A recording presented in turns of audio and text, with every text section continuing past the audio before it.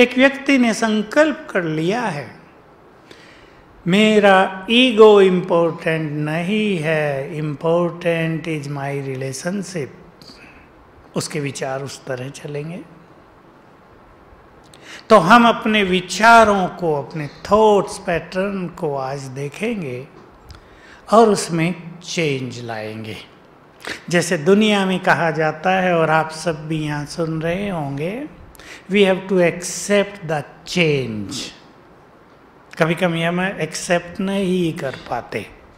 लेकिन चेंज इस संसार का नियम है। हर मोमेंट चेंज हो रही है यहाँ। हमें उसे एक्सेप्ट करके उस अनुसार अपने को ढालना होता है। मैं अपने किचन की बात बताऊँ। पहले लकड़ियों पर भोजन बनता था। फॉरेस्ट वालों ने लकड़ी बंद कर दी। हम लोगों ने ढूंढा, नया सिस्टम बनाया। लोग कह रहे थे, क्या होगा? कैसे चलेगा? एक्सेप्ट किया, उसको एंजॉय करने लगे। कुछ समय तक, कुछ साल तक वो सिस्टम चलाया। फिर नई टेक्नोलॉजी आ गई। हमारे किचन में इंजीनियर्स आ गए, समर्पित हो गए, डेडिकेट कर दिया मैकेनिकल इंजीनियर्स ने, तीन चार ने, उन्होंने नए आइडियाज़ निकाले और हमारा किचन नीचे का बिल्कुल मॉडर्नाइज कर दिया। लोग एक्सेप्ट नहीं कर रहे थे। कैसे होगा? देर लगेगी। ये होगा, वो होगा, आता नहीं है, सीखना पड़ेगा। एक्सेप्ट किया चेंज को, बहुत सुखी हो गए। इतने सुखी हो गए कि हमारे यहाँ नीचे शांतिवन में थर्टी थाउज़ेंड का भोजन एक बार बन जाता है। यू मे नॉट बिलीव डेढ़ घंटे में और एन्जॉय करते हैं लोग। कोई थकता नहीं। बहुत अच्छा लगता है। यहाँ भी अभी वैसा ही किचन बना दिया। अभी सेट ही हो रहा है। कुछ कुछ गड़बड़ हो रही है। अभी हो जाएगा दस पंद्रह दिन में।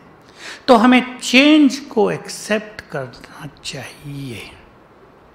तो मैं आप सभी को पहले एक बहुत सुंदर और सीक्रेट बात पर ले चलता हूँ। सीक्रेसी है ये कि जो कुछ हम सोचते हैं, उसके वाइब्रेशंस चारों ओर फैलते हैं, ये तो सब सुनते हैं, लेकिन वो पहले ब्रेन को जाते हैं और वो ब्रेन को अफेक्ट करते हैं।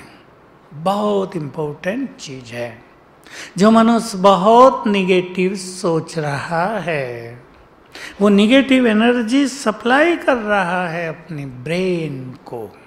बहुत ध्यान देने की बात है, जो व्यक्ति निगेटिव हो रहा है, जो व्यक्ति सेंसिटिव हो रहा है, मैंने जब से ये बात सुनी थी, तब से मैं बहुत केयरफुल रहा। ऐसा व्यक्ति इस संसार की सारी निगेटिव एनर्जी को अट्रैक्ट कर रहा है। उसका नुकसान ही नुकसान होता जा रहा है। मैंने देखा बहुत सारे लोग इस संसार में आज बहुत दुखी हैं। जब मेरे पास आते हैं, मैं पूछता हूँ, दुखों का कारण क्या है? कोई खास नहीं। उसको आप स्माइल करके उड़ा सकते हैं, ऐसे कारण होते हैं। इसने मुझे ये कहा था। बस इतना ही। क्या कहा था वो खास बात नहीं थी। तुम हो ही ऐसी।